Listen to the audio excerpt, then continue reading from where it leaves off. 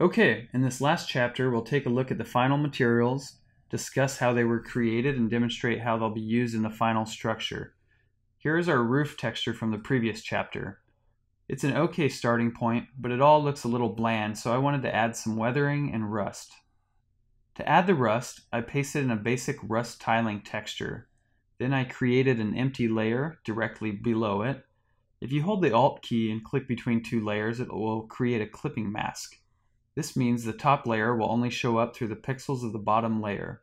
This is great because you can use custom shapes, brushes, or any Photoshop tool to manipulate the mask without ever changing the pixels on the rust layer. This would be considered a non-destructive workflow. In this example, I had already created a custom shape from a rust reference image. The nice thing about using custom shapes is the selection will be very clean since shapes start out as a vector path rather than rasterized pixels. Remember, you can get a layer selection by holding Control and clicking its thumbnail. Now, since we have a nice clean selection, we can use this to adjust our gloss texture. I can just fill this in with a darker value.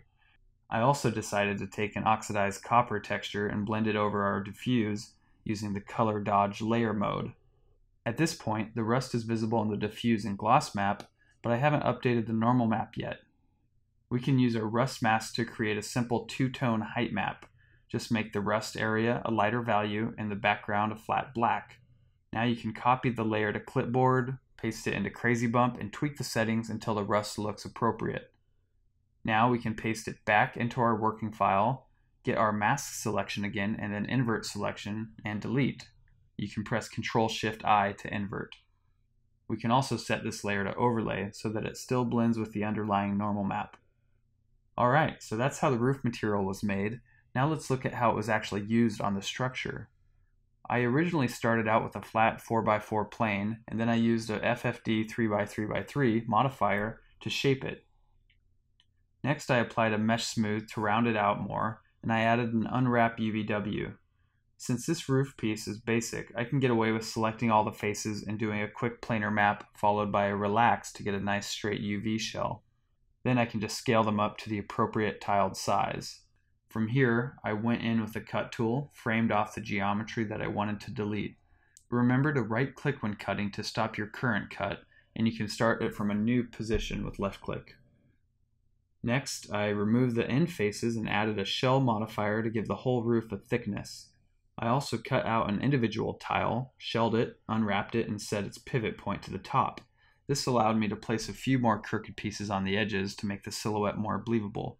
You might also turn on face snap so you can slide this along the actual roof shape.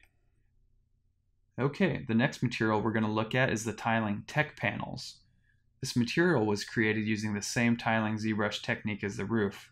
So to recap, we model out some high poly pieces, map them with a placeholder diffuse that will show up in ZBrush, export them out as an OBJ, import each piece as its subtool in ZBrush, and then we use the tiling ZBrush trick to fill an entire canvas. After the placement was complete, I exported the tiling diffuse in normal. I originally applied the tech panel materials to a cube and started cutting them out and shelling them.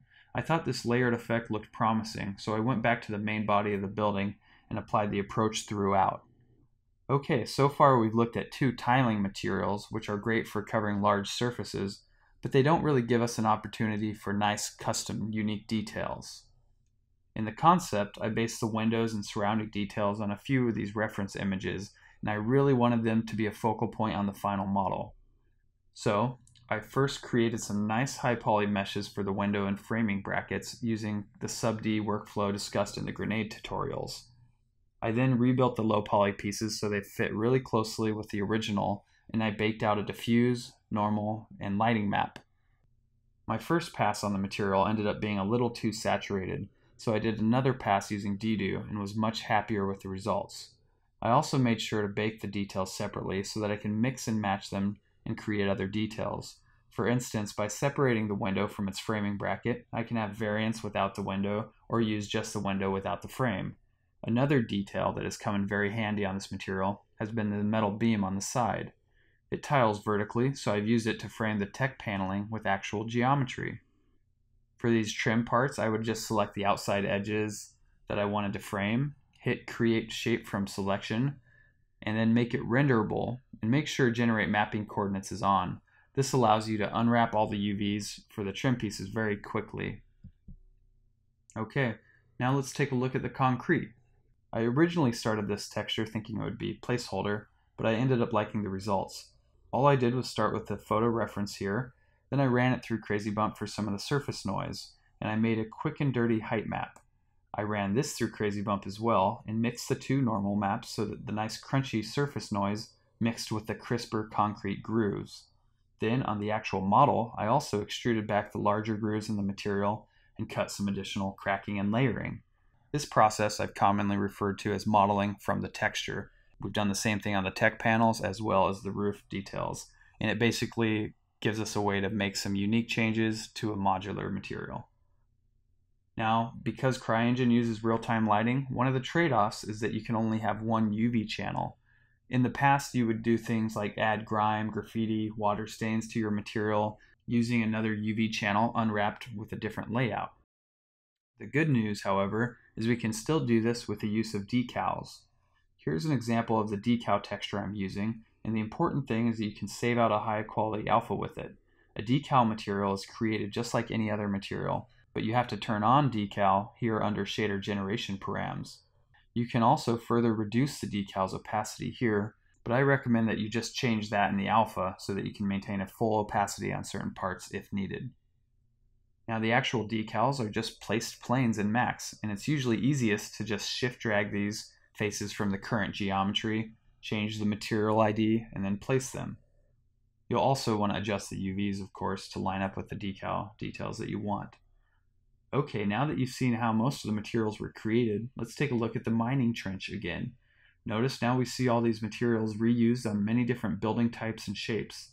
That's the real value and importance of a modular material planning because it allows you to create a huge variety of assets that otherwise would take much longer if you treated them all as unique pieces. Okay, that wraps up the architecture series, and I hope it's been informative and, and inspiring.